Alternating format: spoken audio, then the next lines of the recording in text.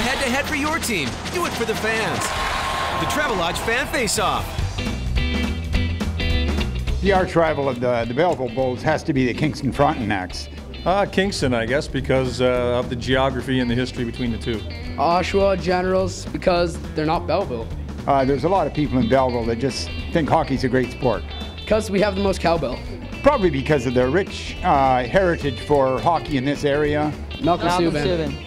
Malcolm Subban! Malcolm Subban. Go Bulls, go! Go Bulls, go! Show your team pride at wherehockeystays.ca for a shot at winning a MasterCard Memorial Cup road trip.